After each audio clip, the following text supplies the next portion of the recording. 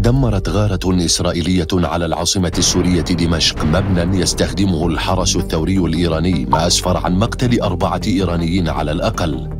وقد تعرضت منطقة المزة جنوبية دمشق ومطارها العسكري عدة مرات في السابق لغارات إسرائيلية استهدفت قيادات تابعة لإيران وميليشياتها في المطار ومنازل ضمن الحي السكني الذي يكاد يكون مربعا أمنيا. وكان آخرها اغتيال مستشارين في الحرس الثوري الإيراني بينهم مسؤول استخبارات فيلق القدس بسوريا حاج صادق. وفي عام 2019 تم استهداف منزل القيادي في حركة الجهاد الإسلامي الفلسطيني أكرم العجوري بثلاثة صواريخ. كما تعرض مطار المزة العسكري الذي يقع قرب دارية لضربات إسرائيلية عدة. فما أبرز ما يضمه حي المزة غربية دمشق؟